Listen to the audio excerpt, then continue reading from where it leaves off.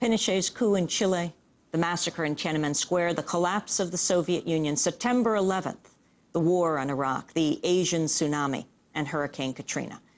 Award winning investigative journalist Naomi Klein brings together all these world changing events in her new book. It's called The Shock, the Shock Doctrine The Rise of Disaster Capitalism. Economist Milton Friedman once said, quote, only a crisis produces real change. When that crisis occurs, the actions that are taken depend on the ideas that are lying around.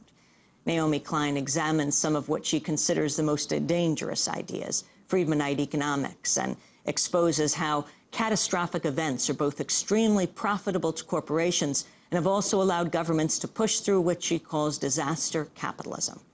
Naomi Klein writes in the introduction to Shock Doctrine that, quote, the history of the contemporary free market was written in shocks. She argues, quote, some of the most infamous human rights violations of the past 35 years tended to be viewed as sadistic acts carried out by anti-democratic regimes, were in fact either committed with the deliberate intent of terrorizing the public or actively harnessed to prepare the ground for the introduction of radical free market reforms.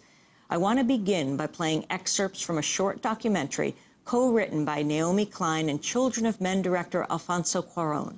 It's directed by Cuarón's son, Jonas. It's also called The Shock Doctrine. It premiered last week at film festivals in Venice and Toronto. The 1940s have been a decade of breakthroughs and developments in medicine and psychiatry. Scientists have developed a new technology to cure mentally ill adults. With the use of electroshocks, the minds of sick patients are being wiped clean, giving them a fresh start. On this blank slate, physicians then imprint a new, healthy personality. Remaking people shocking them into obedience. This is a story about that powerful idea. In the 1950s, it caught the attention of the CIA. The agency funded a series of experiments. Out of them was produced a secret handbook on how to break down prisoners. The key was using shock to reduce adults to a childlike state. The following are excerpts from the CIA's 1963 and 1983 handbooks. It's a fundamental hypothesis of this handbook that these techniques are in essence methods of inducing regression of the personality. There is an interval, which may be extremely brief, of suspended animation, a kind of psychological shock or paralysis. Experienced interrogators recognize this effect when it appears and know that at this moment the source is far more open to suggestion, far likelier to comply than he was just before he experienced the shock.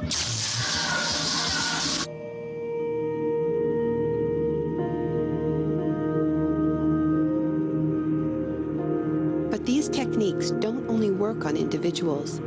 They can work on whole societies. A collective trauma, a war, a coup, a natural disaster, a terrorist attack puts us all into a state of shock.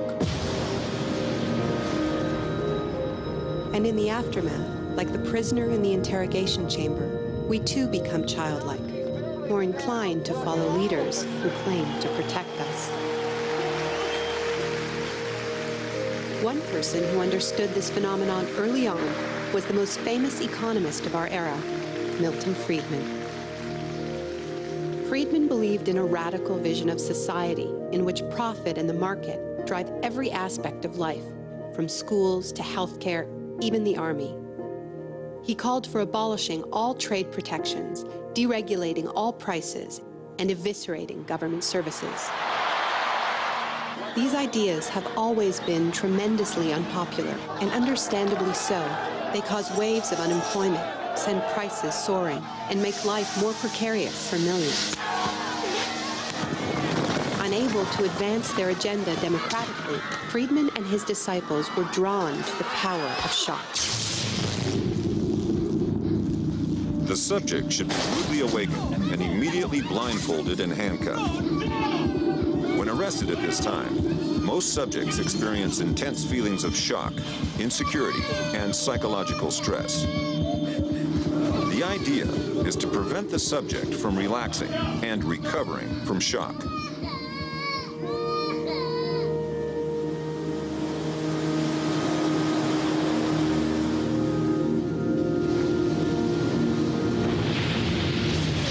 Friedman understood that just as prisoners are softened up for interrogation by the shock of their capture, massive disasters could serve to soften us up for his radical free market crusade. He advised politicians that immediately after a crisis, they should push through all the painful policies at once before people could regain their footing. He called this method economic shock treatment. I call it the shock doctrine.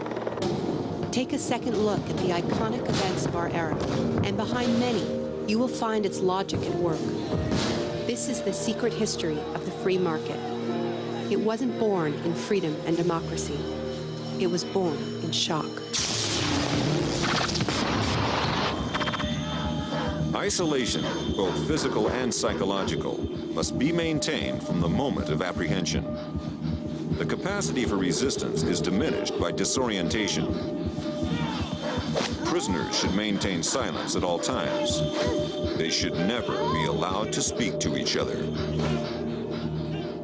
There's one other thing I've learned from my study of states of shock.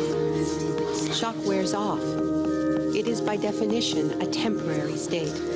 And the best way to stay oriented, to resist shock, is to know what is happening to you and why.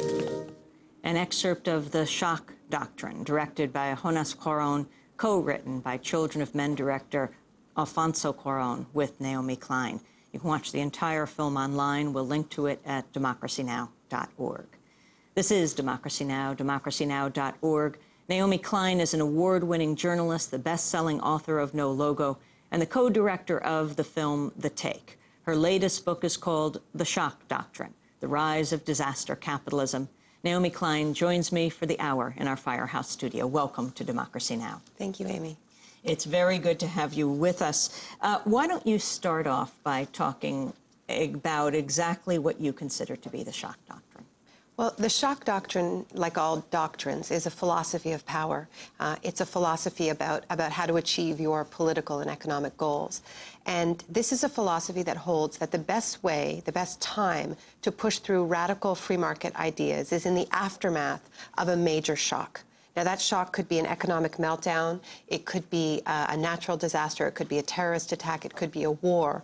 But the idea, as you just saw in the film, is that these crises, these disasters, these shocks soften up whole societies. They discombobulate them. People lose their bearings, and a window opens up, just like the window in the interrogation chamber.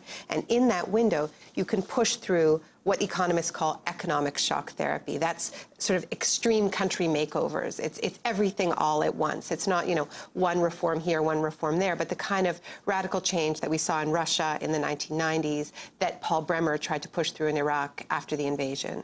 So that's the shock doctrine, and, and it's not claiming that um, that this is that that that, that right wingers in the contemporary age are the only people who have ever exploited crisis, because this is this idea of exploiting a crisis is is not unique to this particular ideology. Fascists have done it. Com state communists have done it. Um, but this is an attempt to better understand the ideology that we live with, the dominant ideology of our time, which is unfettered market economics. Explain who Milton Friedman is, who you take on in a big way.